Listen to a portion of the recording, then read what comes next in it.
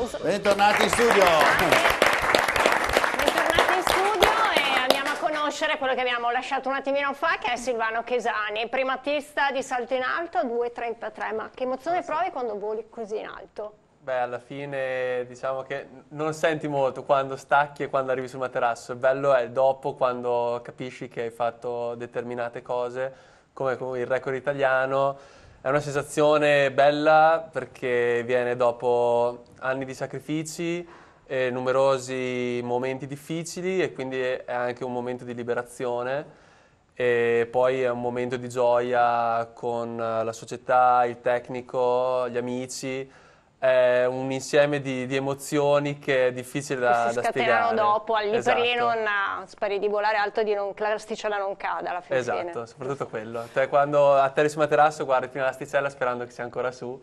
E... Il tuo primo salto te lo ricordi? Il mio primo salto, penso quando avrò avuto 8-9 anni alle elementari, quando si facevano i giochi della gioventù ancora, penso sarà stato un metro, non, non, ero fortissimo da bambino, quindi non è importante quello che si fa da giovani, ma è il lavoro che ci si mette, l'impegno e che poi porterà, si spera, risultati importanti.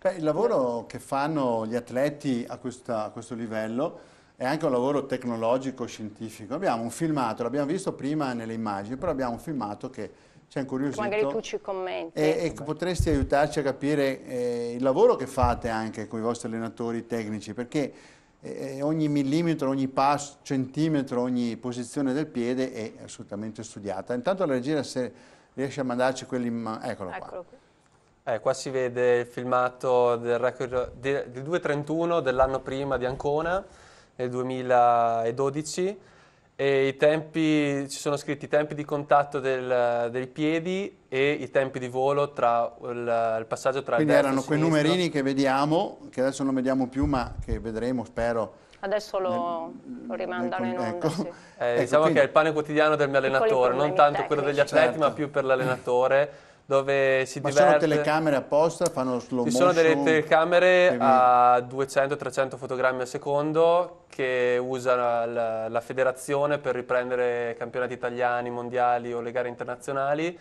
e dopo i vari allenatori, se interessati, prendono i vari filmati per poter studiare.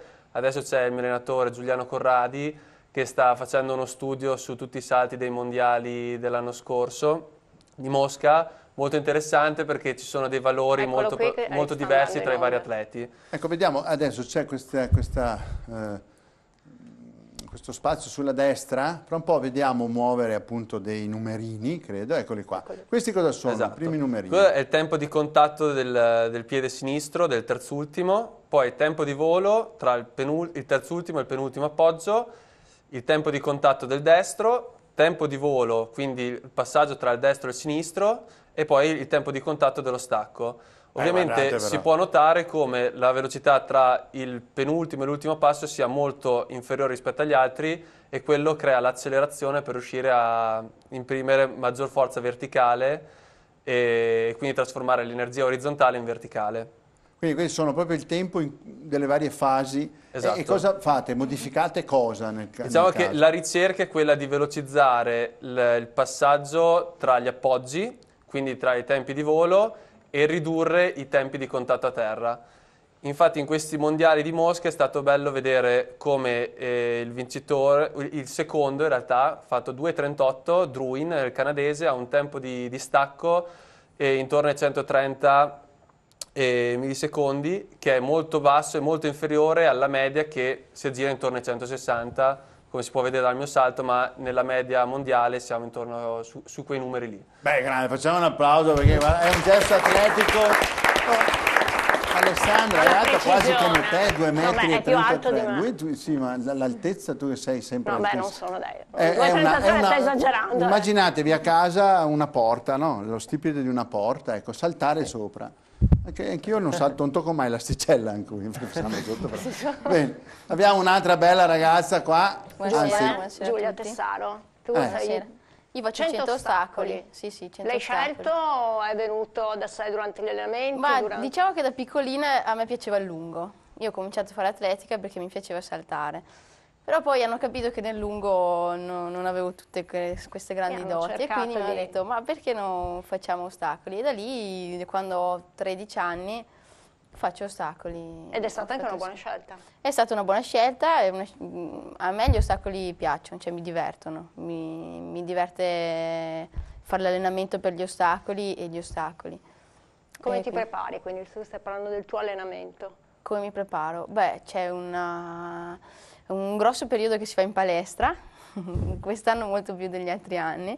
Lo stai sottolineando? Eh, eh sì. no, c'è un grosso lavoro che si fa in palestra a inizio inverno praticamente e poi si va al campo, si trasforma, si, si corre, sì, sì, sì. Eh, si corre, poi c'è pioggia tipo adesso, però abbiamo il palla indoor adesso. Quindi... Per fortuna abbiamo il palla indoor, quindi possiamo andare ad allenarci. Hai già eh, provato ad allenarti sì, sì, indoor? Sì, siamo andati un paio di volte. E Com'è? devo dire che quando fa freddo è per l'ideale. Eh. E poi si comincia un po' a respirare l'aria delle gare quando si è dentro lì. La Più di quando si, si, lavora al campo oppure in palestra, sì. Brava, Bene. facciamo un attimo una pausa perché vorrei già cominciare a distribuire un, un paio di biglietti eh, alle piscine termali del Columbus di Avono Terme. Allora, l'altra volta ha avuto molto successo tra i ragazzi, ah, poi un pubblico qualcuno molto... eh, c'è stato un po' male. Devo fare delle domande facili, ma allo stesso tempo, allora, siccome siete tutti atleti pronti a reagire, allora, due biglietti alle prime due persone, un maschio e una femmina, che mi dicono, attenzione, come si chiama il presidente nazionale Fidel? Alfio John. Eh, Rosanna Nardini. No, non il tuo nome, no. il nome del presidente? Rosanna No, nazionale. nazionale. Allora lui l'ha detto. Microfono. Lui l'ha detto, dai. Alfio Giomi. Bravo, vieni qua. Intanto un biglietto, facciamo un applauso a lui perché l'ha detto. Vieni. Vieni con noi, dovevi portarti il microfono perché come ti intervistiamo? Vai. Ciao, allora, come ti chiami? Eh, mi chiamo Stefano Zanirato. Vieni poi un po' in mezzo. E faccio atletica da tre anni ormai e la mia specialità quest'anno saranno i 5.000 e 10.000 metri. E quindi sarà, prima facevi altro? Eh, prima facevo i 3.000 perché sono passato di categorie, dalla categoria juniores si fanno i 5.000 e 10.000 metri. Ecco qua, tra ragazzi siete come siete divisi, come categorie, come età? Eh, siamo quasi tutti la categoria allievi juniores, qualcuno della categoria cadetti. Eh, insomma, comunque prendete insomma, dai 14 ai 16-17 anni, giusto Presidente? Già una volta ha fatto un errore anni fa i campioni italiani ad Abano. Ma insomma, bene, allora un applauso a lui che ha vinto e io porto pure il microfono.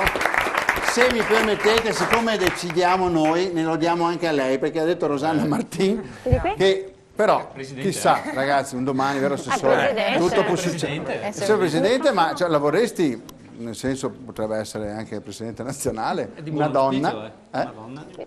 Tu Bene. ti chiami allora? Io sono Tiberio Emma. E tu cosa fai? Io non faccio, non ho una specialità, non ancora. Stai ancora scegliendo. Sì. Cosa ti piacerebbe? A me piacerebbe fare ostacoli o lungo. Bene, come Lara. Sì. Bene, vedi Grazie. che servono questi modelli. Brava, un applauso anche a lei. Allora adesso posso avere l'onore di salutare Lara Rocco che invece di metri con gli ostacoli ne faceva 400, che è una cosa, penso io, massacrante, c'è un giro di pista con gli ostacoli. In realtà è meno massacrante dei 400 metri piani. Addirittura? Beh, sì, perché teoricamente eh, c'è un ritmo da tenere, una ritmica da tenere tra un ostacolo e l'altro, quindi ti rendi conto che sei arrivato alla fine agli ultimi 40 metri, che sei, che sei cotto, esatto, però sì, è, è un misto tra capacità tecniche, ritmiche e, e lattacide, diciamo. tu come ci sei arrivata a questa... Io, io, in realtà volevo fare i 100, io sono eh. andata in campo, mi ricordo, all'epoca all'Arcella, nel lontano non si dice, eh, e volevo fare i 100 metri e l'attuale allenatore mi ha guardato, perché all'epoca avevo quasi 18 anni, e avrà pensato che Dovuto cavolo andare. vuoi fare? Però io ero proprio convinta che volevo fare eh. 100 metri, così ho iniziato, dopo strada facendo, ho fatto un po' come, come Giulia, eh, ci siamo resi conto che 100 non erano, mi sono resa conto che 100 non erano proprio la mia specialità, sono passata a fare i 200, poi i 400, poi per necessità tecniche gli ostacoli, ho iniziato a giocarci un pochino e da lì è nata un po' la passione per i 400 metri con ostacoli. Ecco, si dice nel tuo ambiente che sei un po' rigorosa, immagino parte da un rigore per te stessa. Ma poi come, com, che rapporto hai con i tuoi ragazzi? Beh, a me piace, piace, mi piacciono le persone che hanno voglia di lavorare, però diciamo che l'ambiente un po' è abbastanza gogliardico, nel senso che nei momenti di recupero si ride e si scherza, annuita mi raccomando. Ragazzi, chi è che ha Lara come allenatrice, come istruttrice, come si dice allenatore? C'è qualcuno? Dai, prendi il microfono, raccontaci qualcosa di Lara. Quello, quello giusto. No, lei, lei, lui, lui là davanti. Quello giusto. Vai. No, sto scherzando. Com'è, com'è Lara? Nella... Rimani pure là, che ti inquadriamo là, senza poi parlare al microfono.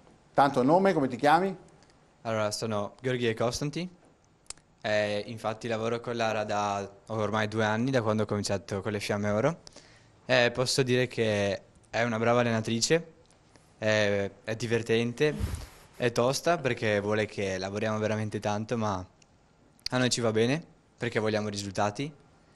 E cos'altro posso dire?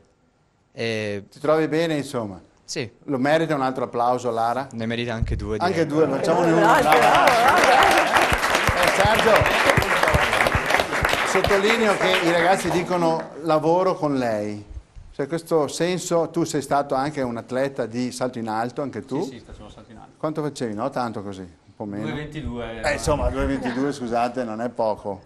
Eh, com'è che si lavora con i ragazzi? Ma il lavoro è, è un modo di dire, i ragazzi eh, vengono da noi eh, con impegno ma soprattutto con la voglia di divertirsi. È chiaro che eh, sono, si sono appassionati all'atletica per la passione che, che gli, gli, allenatori sono capaci di trasmettere. Questo è un valore che loro hanno, dei quali noi andiamo orgogliosi perché riescono a trasmettere le emozioni eh, che hanno vissuto loro nei campi di gara e nei risultati che hanno stati capaci di ottenere. Per, per Bene, me questo Lara, è il valore. È un riconoscimento di questo piacere, passaggio di generazione, chiamiamolo così, anche se insomma, sono ragazzi giovani, sono molto vicini ai loro atleti, ai loro allievi, non è che sono tantissimi anni. Federico. Conosciamo un altro tecnico delle Fiamme Oro. Che è un tecnico ma anche un collega nostro perché lui si occupa anche della comunicazione, dell'ufficio stampa, quindi quello che esce eh, de delle gare a livello nazionale soprattutto, quindi lui deve farsi tutte le gare, avere tutte le informazioni. E o anche com un, comunque siamo uno staff in cui c'è anche Sei un bello staff, però tu, tu, hai fatto anche, anche, degli studi, sei laureato in scienza e comunicazione, sì, esatto, ti occupi sono, di giornalismo. Quindi... Sì, collaboro anche con la rivista ufficiale della Polizia di Stato, il mensile Polizia Moderna, eh, di tanto in tanto con il Mattino di Padova eh, diciamo che però Hai amicizie anche all'interno della nostra emittente? Vabbè, sì. questo sì. Tutto aiuta ragazzi nella vita, eh? Amicizia in senso positivo, eh no, certo. eh, in senso sì, affettivo, sì, diciamo così. Sì, sì, sì, eh, è vero. Bravo. Però diciamo che comunque tutto è partito dall'atletica leggera probabilmente. Tu sei piemontese di Torino proprio? Io allora ho i miei originari, diciamo, non di Torino, sono nato anche nelle Marche, tra l'altro eh, però ho vissuto quasi sempre a Torino, tranne una breve parentesi in cui ho vissuto anche a Catania perché mi sono allenato con l'ex responsabile della velocità Filippo Di Mulo per eh, più di due anni. Però diciamo che Torino, Torino è nel cuore, diciamo. la, la scelta di Padova è stata una scelta dettata dall'amore e dalla passione per l'atletica leggera. Quindi sei venuto perché c'era la sede delle, delle Fiamme Oro? Esatto, c'era la sede delle Fiamme Oro, c'era la possibilità di continuare a rimanere nell'ambiente dell'atletica leggera facendo diciamo, quello che mi è sempre piaciuto fare, quindi allenare eh, adesso, prima praticare l'atletica leggera e poi comunque anche, eh, oltre, oltre che, che, questo, c'è stata questa possibilità anche di occuparmi di comunicazione, quindi diciamo che ho chiuso il cerchio no? e ho ottenuto un po' un mix di cose eh, buone che, che, mi piaceva Come fare. Come che devi raccontare quello che fanno i tuoi amici, colleghi, atleti? Eh, vabbè, allora... Eh... Perché tu devi essere molto... Cioè, praticamente le prime notizie di risultati sei quasi in tempo reale, insomma, quindi... Eh, adesso anche sito, su spinta e sollecitazione comunque di Sergio, che è sempre molto tecnologico, eh, adesso comunque abbiamo una comunicazione molto, molto interattiva, utilizziamo i canali di Facebook, eh, eh Twitter, eh, tra l'altro siamo in buona compagnia perché anche l'assessore Umberto Zampieri ogni tanto ci tagga nelle, nelle foto, conferenze stampa, piuttosto che argomenti interessanti. Quindi eh, diciamo che cerchiamo di mobilitare Questa il più possibile l'attenzione. Sei più veloce tu dell'assessore, poi ne parleremo. Sì, e, e, e infatti subito la foto del e, infa, e infatti subito mi ha detto aspetta che tocca prima a me adesso. Abbiamo presentato a Padova il trofeo Luxardo, ne parleremo alla fine, trofeo, Coppa del Mondo, diciamo la squadra che si starà a Padova nel weekend, quindi sì, vabbè, scherziamo. Questo, eravate presenti anche voi come Fiamme Oro, c'era anche Sergio. Sì, sì, ecco, sì. allora, abbiamo un po' terminato il giro. Io vorrei, abbiamo parlato del centro giovanile e vorrei... Conoscere qualcuno dei nostri ragazzi. Ma io vorrei prima mandare no? il video della scuola, proprio del centro giovanile delle Fiamme Oro. Vediamo se riusciamo a avere le immagini, così vediamo l'ambiente dove i ragazzi si allenano. Se la regia ce l'ha, perfetto.